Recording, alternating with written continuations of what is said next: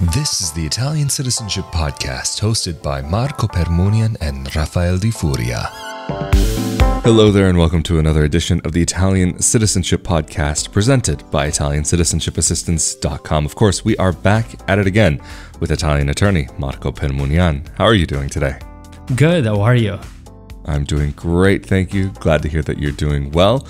And today we're doing uh, frequently asked questions about Italian citizenship through marriage, questions for the Italian spouse. And it's not only a part two follow up episode, but also a companion episode to an article on ItaliancitizenshipAssistance.com, uh, FAQs about spouses of Italian citizens.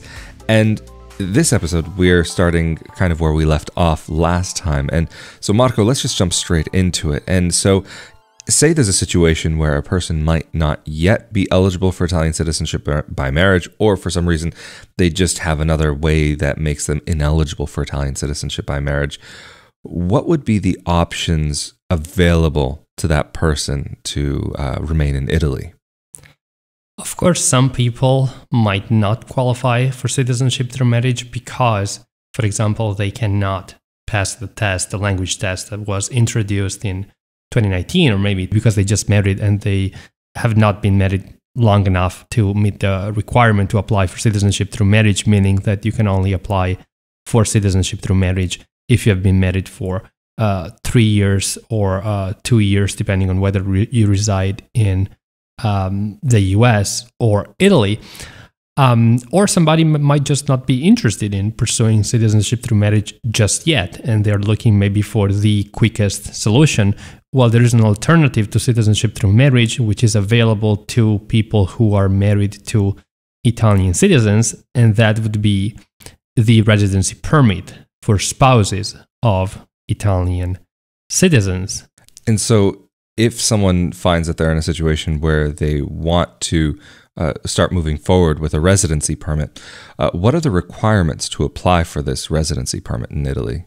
The application process is fairly easy, meaning that the residency permit can be pursued only once the couple has moved to Italy. So, one of the frequently asked questions that we get is Can I get the residency permit for spouses through my Italian husband or wife from abroad. Uh, can I can I apply for it uh, while I'm living in the U.S. so that I already have it when I when I arrive in Italy? And the answer is no. Unfortunately, the residency permit can only be obtained once the couple uh, not only is physically in Italy, but also once the uh, husband or wife, the one who is Italian, has formally established residency in Italy. So those are the prerequisites. So, say the uh, Italian spouse has established residency from a legal standpoint in Italy, then the non Italian spouse who has traveled to Italy as a tourist, because that's allowed, uh, as we know, for an American to travel to Italy uh, for up to 90 days um, without any kind of visa.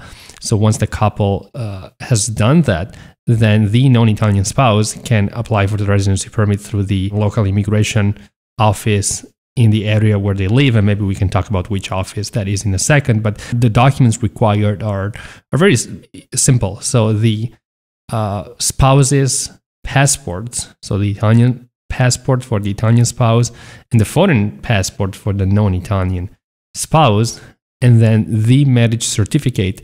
Now, it's preferable if the marriage certificate is the one issued by the Italian government. So, the Italian marriage certificate, the one that was registered in Italy if the couple got married abroad. Of course, if the couple got married in Italy, then there's only the Italian marriage certificate. But as we know, if the couple was married abroad, then the foreign marriage record must be registered in Italy. And in most cases, these local immigration offices they require the Italian version of the marriage certificate, though I've seen them making some exceptions um, on a case by case basis when the couple didn't have the time to record the marriage record in Italy, so they accepted the foreign marriage record with the apostille and the translation into Italian. then the other documents required are basically just proof that the Italian spouse is registered as a resident in Italy and the proof of payment. The, the payment for uh, to obtain this marriage record is only 16 euros, which is normally payable in the form of a revenue stamp, which is something that I believe doesn't really exist in a lot of countries. Believe it or not, this revenue stamp which in Italy is called Marca da Bollo, can only be purchased in a tobacco shop. So you go there, you request a Marca da Bollo. There are different amounts. The one that you need is the one for 16 euros. And it's given to you in the form of a sticker, which you normally stick to the application that you submit to apply for the residency permit. And finally, to apply for this residency permit, you will need two passport size photos because uh, the residency permit will come in the form of a plastic ID, so which will, which will also carry your photo to, to identify you. It's it's I have to say really interesting about Italy. That's that's one very unique aspect of life in Italy is going to the tabacchi, the tobacco shop, uh, to take care of certain official things. I mean, even some of them you can pay your um, your bills, your monthly bills, uh, and make the transfer from there. Usually, there's uh, an extra fee that's applied, but it's just interesting how the tobacconist, uh, the tobacco shop, is such a vital part of the Italian system uh, due to their uh, connection with the uh, Italian tax office. But moving on to the next question, once you've got your application ready to go, you've got your Marca da Bollo ready to be stuck onto your application, where is it that you actually have to go to submit the application? The application must be submitted to the Questura, which is um, once again something that is very unique and it's probably it, that probably doesn't have a direct translation in English. And actually, the questura, the word questura, comes from the um, Roman Empire. And back in the days, this office had a slight different uh, purpose. But now the questura, basically, which is still headed by the questore, so the head of the questura, is basically the local administrative office for the police. And uh, the, every questura is there's one in every uh, Italian province. Is uh, de- depend depends on the uh, Ministry of Interior, and um, so the questura is like the administrative office of the local police, which is also responsible for issuing residency permits for spouses of Italian citizens. And like I said, you need to make an appointment, go with your spouse.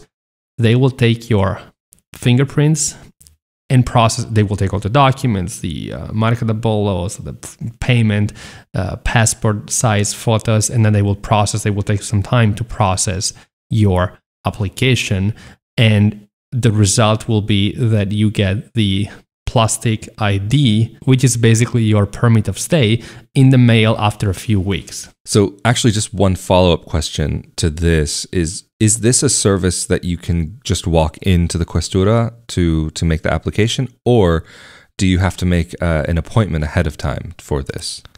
Well, normally, especially after the health emergency, I want to say that throughout Italy, they only work by appointment. So you can't really show up, but you need to book an appointment. And they might have different booking systems depending on the province in which you are applying. So it might be that you have to, there's a booking system on the website. It might be that you have to send an email, or maybe that you have to call them. But regardless, you do have to make an appointment.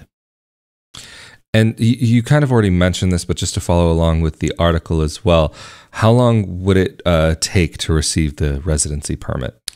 Well, it's a good question because, you know, the spouse of an Italian citizen is normally living in Italy before actually getting the residence permit on a tourist visa. So they only have 90 days to reside in Italy without the need for a visa. So the application process is quite fast, meaning that it normally takes just a couple of weeks for you to be approved and get the residency um, permit delivered to you. And so once the person has already gotten their residency permit, do they have any restrictions on what kind of work activities they can do, um, or are they uh, uh, uh, allowed to work in any capacity in Italy? Once the person receives the residency permit, they can work and in in any capacity. So there are no restrictions in terms of what kind of um, uh, what type of work you can do, or if you can be employed by certain companies. So you can be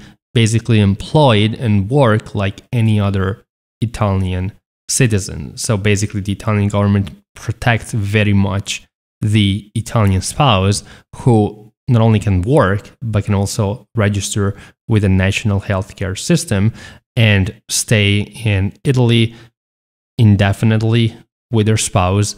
So the protection is really at a very high level.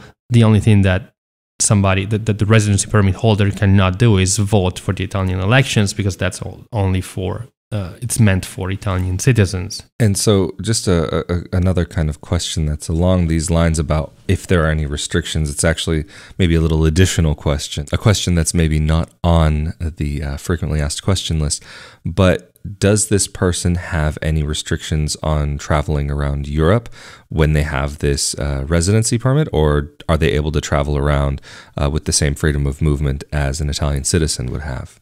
There are some restrictions, meaning that only the Italian spouse can travel without time limitations in the other European countries. So it's possible for an Italian citizen to uh, not only travel to another EU country, but also relocate there without making any special arrangements. So, for an Italian citizen, it's possible uh, for an Italian citizen residing in Italy, but even for somebody who is an Italian and resides abroad to just relocate, um, to, to, to make the decision to relocate and relocate the next day to another EU country without telling anything to to anyone. So it, it's not necessary to apply for any permits, visas, or um, anything in, in general. So for the Italian citizen, it's very easy not only to travel to another EU country, but also to relocate there. Now, the spouse of an Italian citizen who holds a residency permit in Italy cannot do the same. So they're free to travel in the other European countries for up to 90 days at a time, but they cannot stay for longer. So a lot of people they ask me, so what if I want to exercise my right as an Italian citizen to relocate to another EU country and bring my spouse with me? Well, that's possible, but there are some arrangements that need to be made, meaning that um, the Italian citizen should register as a resident in the other European country. And the process to register as a resident in another EU country is regulated by the law of that specific country, then once the Italian citizen has registered as a resident in another EU country, the spouse can apply for a residency permit for spouses of EU citizens, so a different residency permit than the one that the spouse was holding while residing in Italy. They need a new one issued by the government of that EU country in which the couple is relocating. That's really interesting. And so, um, maybe just to take it back to uh, residing in Italy rather than residing abroad.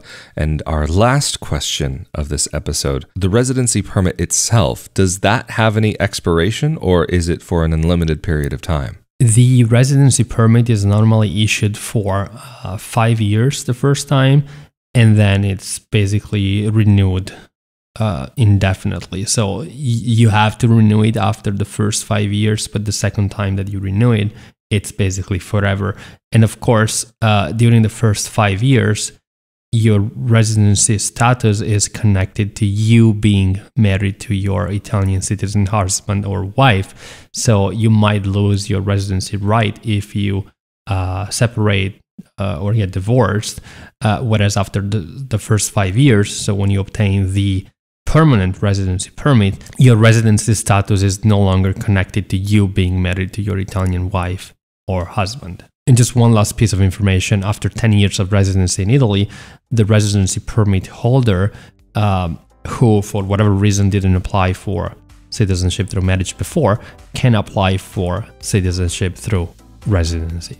Well, Marco, thank you so much for answering all of these questions and uh, for giving more insight on these topics for Italian citizenship through marriage, and especially the questions relating to the non Italian citizen uh, spouse. And if anybody would like assistance, would like help with this process, how can they get in contact with you and your team? People can contact us through our website, Italiancitizenshipassistance.com, or give us a call. Our number is on our website. Well, of course, absolutely fantastic. And of course, if you're interested in more content like this about Italian citizenship, Italian residency, getting Italian citizenship, be sure that you're subscribed to this YouTube channel as well as the audio only podcast. But of course, if you're subscribed to the YouTube channel, you are also automatically subscribed to the Italian Real Estate Podcast, another project that Marco and I collaborate on, where we talk about some of the other practical sides of making Italy your home, and including even uh, a list of places that we might personally consider ourselves as locations that would be worthwhile considering to live in. And also, if you're interested in more content about life abroad, living abroad, living abroad as an Italian dual citizen expat, be sure to come over to my YouTube channel, youtube.com slash Rafael Di Furia, or you can search for Not Your Average Globetrotter, where you'll also be able to find the audio only version of the podcast on all your favorite podcasting platforms. But of course, again, Mr. Marco Permunian, thank you so much again for making yourself available for this episode of the Italian Citizenship Podcast, presented by ItaliancitizenshipAssistance.com. Of course, I'm Rafael Di Furia. Stay safe and healthy out there, and we will see you all next time. Thank Later. you.